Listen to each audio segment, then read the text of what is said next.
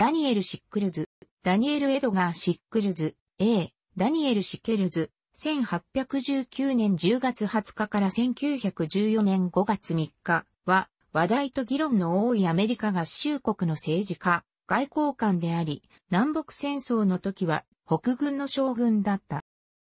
南北戦争前のニューヨーク州政治家としてシックルズは数多くの公的スキャンダルに巻き込まれたが、最も有名なものは妻の愛人でフランシス・スコット・キーの息子のフィリップ・バートンを殺害したことである。その裁判では、アメリカ史の中で弁護に初めて一時的、心神喪失を用い、無罪とされた。南北戦争では、最も著名な政治家将軍の一人だった。ゲティスバーグの戦いでは、上官の命令に従わずに実際上防御が不可能な陣地に、その第三軍団を移動させ、この行動に関する議論は現在でも続いている。その前線での軍歴は足に砲弾を受けたゲティスバーグで終わった。戦後、シックルズはレコンストラクション中の軍政府を指揮し、在スペインアメリカ合衆国特命全権公使となり、最後はアメリカ合衆国議会に復帰し、ゲティスバーグの戦場跡保存のために重要な法制化に貢献を果たした。シックルズはニューヨーク市でスーザン・マーシュ・シックルズとジョージ・ギャレット・シックルズ夫妻の息子として生まれた。父は特許専門の弁護士であり、政治家だった。シックルズの生年は時として1825年とされることがあり、本人も実際にそのように言っていたことが知られていた。歴史家たちは、シックルズが年齢の半分もいかない夫人と結婚した時には若く見えるように考えてこの生年を選んだと推測している。シックルズは印刷業を学び、ニューヨーク市大学、現在のニューヨーク大学で勉強した。ベンジャミン・バトラーの法律事務所で法律を学び、1846年に法廷弁護士として認められ、1843年にはニューヨーク州議会議員となった。1852年、シックルズはテレサ・バジオリと結婚したが、この結婚はシックルズが33歳で、テレサが15歳の時のことであり、双方の家の意に逆らったものだった。テレサは年齢の割によなれており、5カ国語を話せた。1853年、ニューヨーク市の法人弁護士となったが、間もなくフランクリン・ピアース大統領の指名で、ジェームズ・ブキャナンの下の中ロドンアメリカ公使館書機関になったことで辞職した。1855年にアメリカに戻り、1856年から1857年にニューヨーク州議会上院議員を務め、1857年から1861年までは民主党員として第35およ第36アメリカ合衆国議会で下院議員を務めた。シックルズの経歴はスキャンダルで彩られた。ニューヨーク州議会からは議場によく知られた娼婦のファニー・ホワイトを同伴したことで検責された。身重の妻を家に残したまま、ホワイトをイギリスに連れて行き、ニューヨーク政界の敵対者の名字をホワイトの偽名を使ってビクトリア女王に紹介したと言われてもいる。1859年、ホワイトハウスの通り向かいにあるラファイエット公園でコロンビア特別区法検事で、フランシス・スコット・キーの息子のフィリップ・バートン・キーを拳銃で撃って殺害した。キーは、シックルズの若い妻テレサと露骨にジョージに及んでいるのをシックルズが見つけていた。シックルズは、数ブロック離れたフランクリン広場の司法長官、ジェレマイア・ブラックの家に身を委ね、殺人を告白した。巡査に伴われて自宅に寄った後、シックルズは拘置所に向かい、ワシントンの社交界すべてがシックルズに同情的になった。シックルズは面会を許されたので多くの者が訪れ、拘置所長のアパートを面会の場に使うことを認められた。このことは、その留置についていくつかあった奇妙なことの一つだった。当時としては、異例となる護身用武器の所持も認められた。新聞は、多くの会員議員、上院議員及びその他ワシントン社交界の指導的人物まで多くの面会者について伝えた。ブキャナン大統領は面会こそしなかったが、個人的なメモを送った。雑誌、ハーパーズマガジンによれば、シックルズにとって、妻の母とその牧師が訪ねてきたことが最も心、痛むことだった。その二人は、テレサが悲しみ、残機の念及び後悔に暮れており、結婚指輪を失ったこと、シックルズが家に戻った時に取ってきていたが耐えられる、限度を超えていることだと伝えた。シックルズは、殺人で起訴され、何人かの指導的政治家を、その弁護人に確保した。その中には、後に、陸軍長官になったエドウィン・スタントンや、首席法律顧問のジェームズ・ティー・ブラディがおり、シックルズのように、たまにイホールの出だった。歴史的な戦略としてシックルズは、狂気を申し立て、アメリカ史の中で弁護に初めて一時的、心神喪失を用いることになった。スタントンは、陪審員の前で、シックルズが妻の不定で狂気に駆られ、キーを打った時は心身を失っていたと主張した。新聞は、間もなく、キーという名のならず者から、ワシントンの淑女すべてを救う英雄として、シックルズのことを書き立てた。シックルズが土曜日に、テレサから得た、あからさまな告白が重要なものと分かった。それは、法廷では、証拠として使えなかったが、シックルズが記者に漏らし、完全に新聞に掲載された。弁護の戦略は、裁判がワシントンの会話での主要な話題となり、全国紙がシックルズに同情的な記事を載せることを確実にすることだった。法廷ではこの戦略がドラマと議論をもたらし、最終的に弁護側の勝利となった。シックルズは無罪となった。シックルズは無罪判決を受けた後で、公にテレサを許し、会議員を辞職はしなかったが、公的生活から短期間、身を引いた。当時の道徳的価値観のために、大衆は殺人や前例のない無罪判決よりも、シックルズが売春婦や幹部と呼んだ妻を許し、和解したように見えることに起こった。南北戦争が始まった時、シックルズは、その公的なイメージを修復したいと考え、ニューヨーク州で積極的に北軍の志願兵連隊を立ち上げることに貢献した。その編成した4個連隊のうちの一つに大佐を指名された。1861年9月には志願兵の準将に昇進し、北軍の中で最も有名な政治家将軍の一人になった。1862年3月、アメリカ合衆国議会がその任官確認を拒んだ時に指揮官を諦めざるを得なかったが、ワシントンの政界で熱心に政治工作を行い、5月24日にその階級と指揮権を両方とも再度手に入れ、軍隊に合流した時は半島方面作戦に間に合った。この障害があったために、ウィリアムズバーグの戦いではその旅団の重要な戦闘に居合わせなかった。シックルズはそれまで全く軍隊経験がなかったが、セブンパインズの戦いや7日間の戦いでは、ポトマック軍のエクセルシア旅団を率いて有能なところを示した。第二次ブルランの戦いの時は不在であり、その政治的影響力を使って休暇を取り新しい部隊を徴兵するためにニューヨーク州に行っていた。アンティータムの戦いの時は師団長となっていたが、その属する第三軍団がポトマック川下流で首都の守りについていたために参戦しなかった。シックルズは最初の上官で師団長、後にはポトマック軍を率いたジョセフ・フッカー少将とは近しい仲間であった。二人とも政治的な出世志向者であり、大酒飲みで女好きという悪名高い評判があった。当時の証言ではその作戦本部は創造しい酒場や売春宿に例えられていた。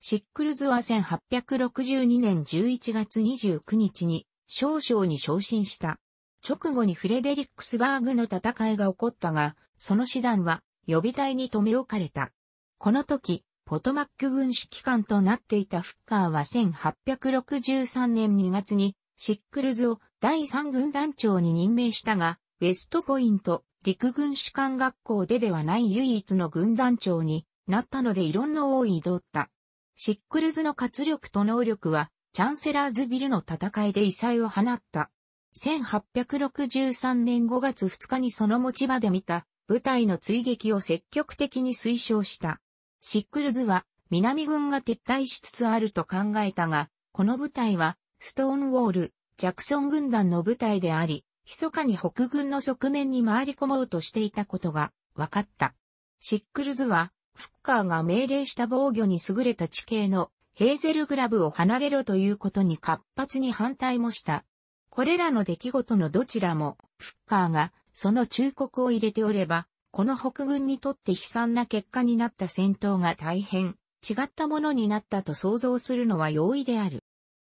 ゲティスバーグの戦いは、シックルズの軍歴にとって最も有名な出来事であり、実質的にそれを終わらせるものになった。1863年7月2日、ポトマック軍指揮官、ジョージ・ミード少将は、シックルズの軍団にセメタリー・リッチの南端で防御的配置を取るように命じた。その北は第2軍団がおり、南はリトルラウンドトップと呼ばれる丘になっていた。シックルズはその前面がピーチオーチャードと呼ばれる少し高い地形になっていることに不満だった。おそらくはヘーゼルグラブで南軍の大砲からその軍団が打撃を受けたことを思い出し、命令を無視してその軍団をセメタリーリッチからほぼ1マイル前進させた。このことから二つの影響があった。一つは、その前線をあまりに薄く伸ばすことで軍団の集中した防御姿勢を大きく薄めることであり、